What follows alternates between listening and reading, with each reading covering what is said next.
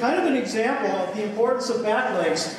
I, we have an unknown, an unnamed client who's a lawyer who had another unnamed client who was a well-known tax evader.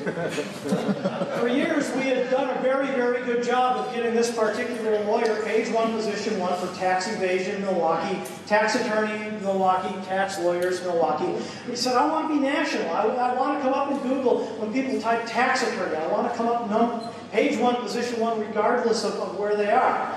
Well, he managed to uh, land Wesley Snipes as a client, I said, okay, what we need to do is we need, need to make sure that you're letting everybody know that you've got Wesley Snipes as your client. He said, you know, we're probably going to lose this case. And it doesn't matter. Uh, you, you just get the word out because this is going to be something that's going to get a whole lot of traction.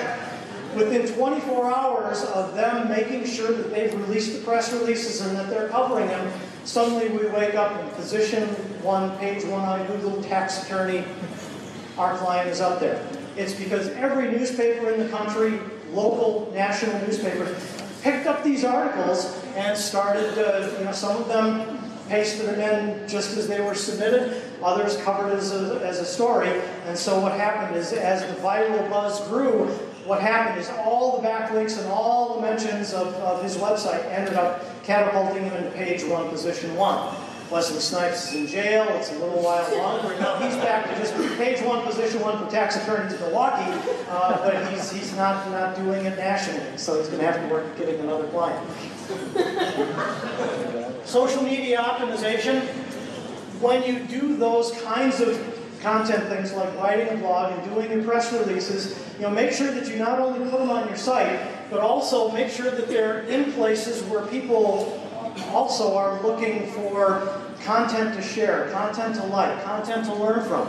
Uh, LinkedIn has undergone a fairly major change within the past week to actually become a whole lot more like Facebook in what you can do. But the cool thing about it is that LinkedIn still allows you to be able to build your own personal credibility, have the people on your team within your organization to be able to build that credibility as well. And LinkedIn is, uh, has added an endorsement uh, tool to their site where when people would ask me to write an endorsement for them, I'd have to write a paragraph, and I didn't want to do that. What it does now is that they've made it a whole lot easier now that they're actually making suggestions and endorsing people as a matter of simply clicking on their area of specialty with a plus.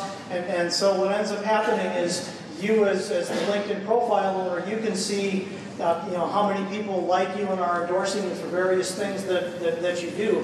So a lot of people are coming to that looking for credibility, and because of the tools that are available, you can take all the links to all of your blogs and you can post them at LinkedIn. So as people are doing searches for the things that you as your company, as your website do, that people really like because you do them well, all of those blogs can be posted in LinkedIn.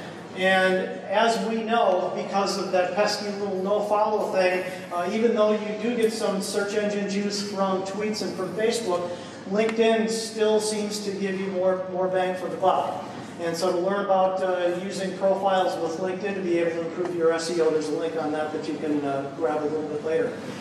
The other thing that you can do for social media optimization is find some websites that feature thought leaders in your space. Uh, so, for instance, you know, because we're experts in social media, uh, the folks at Social Media Today, Brian Solis and some of the other people there, anytime I write a blog, I can submit it to them and I know that it's going to be uh, published the very next day. By loading up my blog posts that are posted there with linkable keywords that link back to my site, once again, that gives me the ability to be able to get those powerful backlinks that come from that. And then I also post them on our Facebook page. Uh, I, I, post them on, on Twitter in hopes that someone like a Jeremiah Owyang or an Augie Ray will find something that I've written that I posted on Twitter, will then retweet that. Google knows if people like that are retweeting it, it must be worthwhile, and so people really, really like it, and so that's something that also will end up helping you. And then we also talked about LinkedIn. You say, well, I don't have time to be able to post to all these social media sites.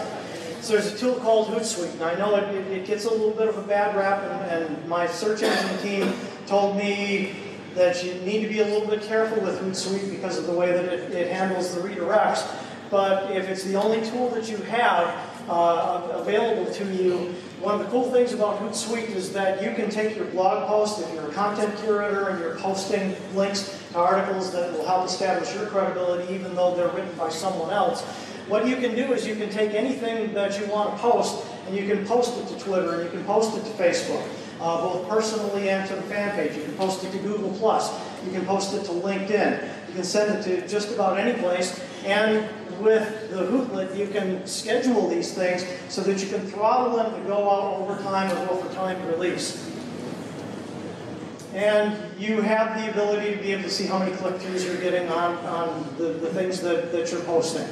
And so, you know, you, the amazing thing about this is that as a general rule, I post probably about six or seven tips that help build my credibility every day, schedule so that they go out during the course of the day, and over the, the years that I've been measuring that, I've got 90,000 click-throughs uh, back to the things that, that I've tweeted.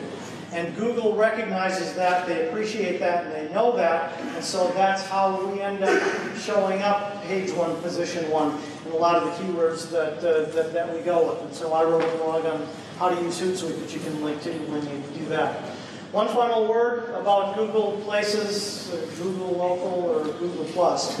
Uh, it is that Google Plus looked like it was going to be a contender for dominance in the social media space. It ended up being the graveyard where social media gurus and thought leaders went to go and uh, share their ideas with, every, with each other and not much else. And so Google decided to kind of uh, mosh places and Google local altogether. And so if you have a brick and mortar business, that part of the success of your site is going to be to drive people to not only to your site, but also to your local establishment. Search engine optimization is going to be an important part of that. Google Plus, Google Local, Google Place is going to be one of those things that you're going to need to learn how to be able to optimize to, to be able to uh, show up high in that. So, bottom line though is that Google is going to continue to get better, as are Bing and Yahoo, at determining what people really, really like. And what people don't like is black hat stuff. They can see through that. And you know, content is always king, and backlinks are, are, very, very powerful. And you can do the black hat stuff all you want. And what's going to happen is Google is going to get better and better at dumping you and reducing your rank for that. What they are going to be looking for is people who understand what their client wants, understand what the people surfing the web want, and will set up their site and set up their social media plans so that people really, really like it, so that Google can really, really like presenting your website from position one, page one in their search engine results. Now, where you want to go to uh, see some of the tips that I tweet every day is bit.ly T-Guy tips. Uh, my blog is TriveraGuy.com. The resources, this slide presentation, as well as all the other slide presentations that I do, are at Trivera.com front slash resources. And there's our contact information. And uh, I ran a little bit late because last night Erica said, she was reviewing my slides and she said, get rid of the bullet points. And I said, I gotta do bullet points because it's gonna keep me from running over. And she said, you gotta get rid of the bullet points. So even though I ran a little bit long, unfortunately no kittens were killed in the creation of this presentation because Rand says every time bullet points show up in a presentation, a kitten dies.